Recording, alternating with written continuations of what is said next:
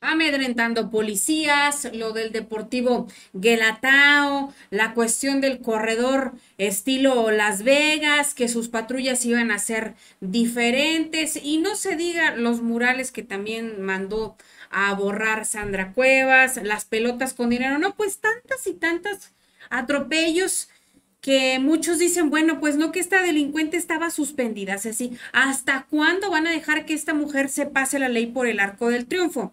El punto es que le ha sacado la vuelta, que ha buscado ahí los hoyos en la ley para poder salirse con la suya.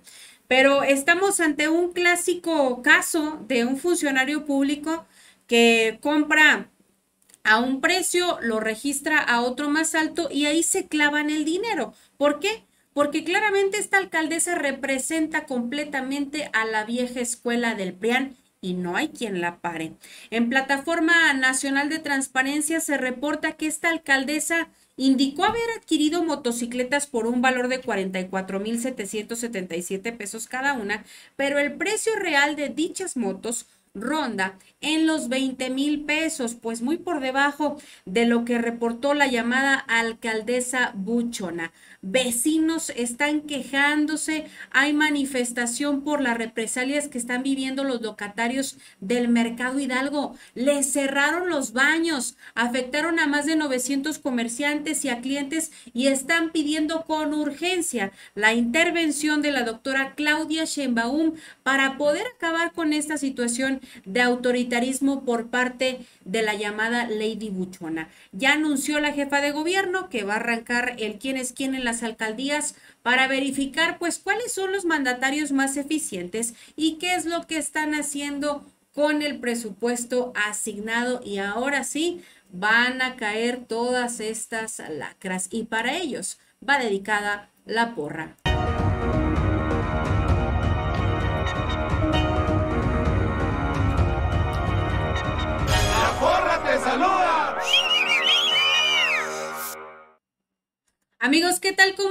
Bienvenidos a un nuevo video de este su canal Política para la. Qué gusto saludarlos, invitarlos a que se suscriban, que activen la campanita de las notificaciones para que la plataforma les pueda dar aviso cuando ya tengamos material disponible. Yo soy Ceci Villalpando, qué gusto como siempre. Les mando un beso, un abrazo bien fuerte Ay, ay, ay, donde quiera que se encuentren, ahí estamos. Y listo, pues vámonos de lleno con toda esta información porque resulta ser que en represalia a estas manifestaciones por parte de los locatarios de este mercado, les mandaron cerrar los baños, ellos estaban manifestando pues de esta manera pacífica ahí en eje central, decían dónde están los recursos de los baños y estacionamientos del Mercado Hidalgo. Sandra Cuevas, ya llevas 10 meses con él y no vemos nada, porque denunciaban, no les ponen toallas, no hay jabón, no está el servicio eficiente, ¿no?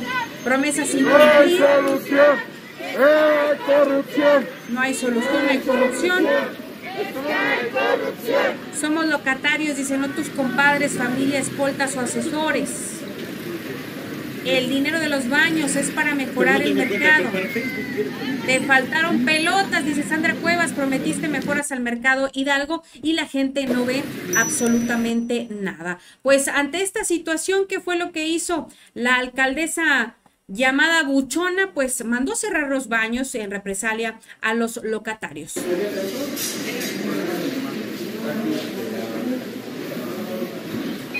Hola, pues una vez más estamos viendo aquí que con la alcaldía no se puede tener un diálogo. Ya estamos buscando la manera de pues, que hubiera un diálogo, pero pues no llegan, nos mandan autoridades, nos cierran los baños.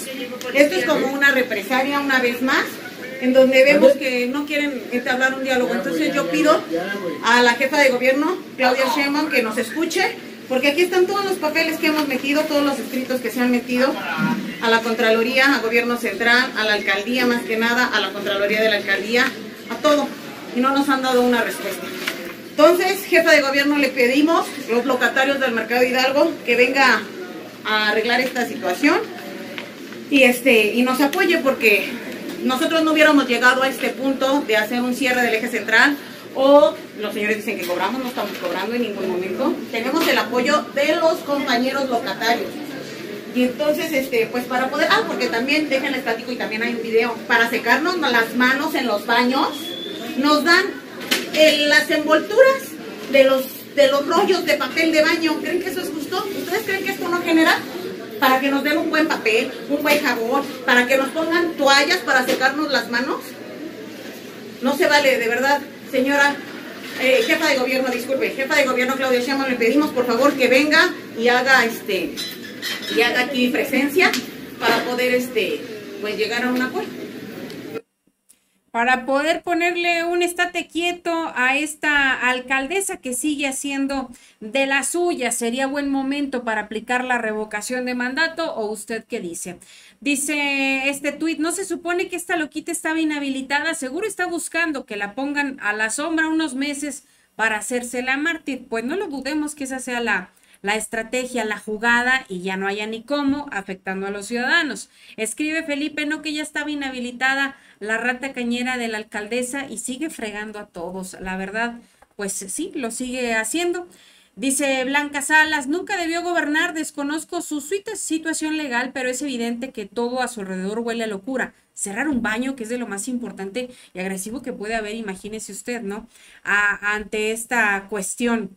Dice Silvia, la peor alcaldesa de la Ciudad de México, Sandra Cuevas, no únicamente sabe hacer el ridículo en redes sociales, también es una excelente ladrona al gastar 3.2 millones de pesos en motos para su grupo élite, porque de acuerdo con esta información, Sandra Cuevas habría gastado este dinero en el inventario de bienes de la alcaldía Cuauhtémoc, el valor unitario que resultó excesivo con sobrecostos en torno a estas a estas motocicletas, que se habla pues eh, un poco más del el doble de toda esta situación. Pero bueno amigos, ahí está pues parte importante de la información al respecto. La jefa de gobierno capitalino Claudia Sheinbaum anuncia que va a arrancar pues su gira, ahora sí que del quién es quién ahí en las alcaldías, para saber quiénes están siendo eficientes, quiénes no, y por supuesto en qué se están gastando el presupuesto asignado estos alcaldes. De oposición o no oposición,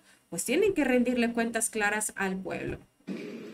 Pues podemos hacer una quién es quién en, el SUAC eh, para la próxima semana, para saber qué alcaldías atienden, qué alcaldías no atienden. Nosotros, sobre todo las alcaldías que tienen menos recursos por asignación del presupuesto de egresos, eh, ¿Por qué tienen menos recursos? Porque la fórmula de, de, los recursos que le tocan a cada alcaldía tiene un peso muy importante en la población. Entonces, las alcaldías con menos población pues tienen menores, eh, menor eh, distribución del recurso público y nosotros les apoyamos bastante. En el caso de Tláhuac, Xochimilco, Milpalta, Cojimalpa, se les apoya para que podamos ayudarles aunque claro, en el primer año también apoyamos a Iztapalapa y a otras alcaldías, a, la, a también se apoyó bastante. Entonces, Benito Juárez, inclusive también lo apoyamos. Entonces, eh, pues es el trabajo del mantenimiento general, pero las alcaldías tienen por obligación que un porcentaje de su presupuesto sea destinado al mantenimiento de la red ¿Cómo se ve Ah, pues vamos a mostrar cuántas quejas hay y cuántas se han atendido. Eso sería cada pues vamos a informarlo, pues no sé, cada mes a lo mejor este, lo informamos. Empezamos la próxima semana y vamos a el lunes. El lunes.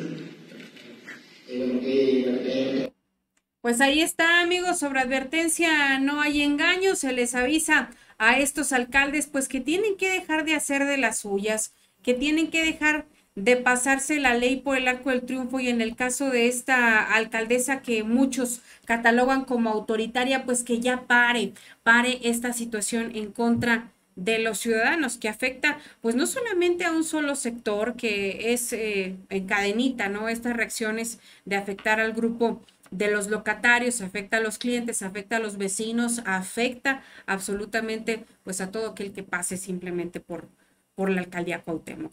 Pero amigos, como siempre, su opinión es la más importante. Déjenme saber su postura referente a esta información. Gracias como siempre por haberme acompañado hasta este momento del video. Gracias por suscribirse y activar la campanita de las notificaciones. Mi nombre es Ceci Villalpando. Les mando un beso, un abrazo bien fuerte donde quiera que se encuentren. Y ya lo saben, tenemos una cita. Aquí los espero en el siguiente video.